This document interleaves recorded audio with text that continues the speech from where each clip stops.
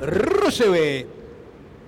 Prowadzi Krotona, na drugiej pozycji Kalahari Dream, następnie blisko jest Żemlawi, na ostatniej pozycji galopuje Kore, a na przedostatniej Assassin i 1000 metrów do celownika prowadzi Kalahari Dream. W tej chwili na drugiej pozycji galopuje La Caletta, Kalahari Dream, La Caletta. Trzecia jest Żemlawi, Krotone, poprawia Celsjusz.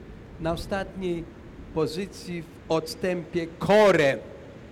Na około 700 metrów przed celownika nadal Kalahari Dream. Na drugiej pozycji w tej chwili jest La Caletta. Kalahari Dream, La Caletta, Celsjusz, Żemlawi, Krotona. I wyjście na prostą. Kalahari Dream jest na czele i dobrze galopuje. Kalahari Dream ma przewagę, ucieka. Przy bandzie tam przemyka się Krotona, ale na drugiej pozycji jest La Caletta. Kalahari Dream, La Caletta. Kalahari Dream, La Caletta. Kalahari Dream, La Caletta nadal.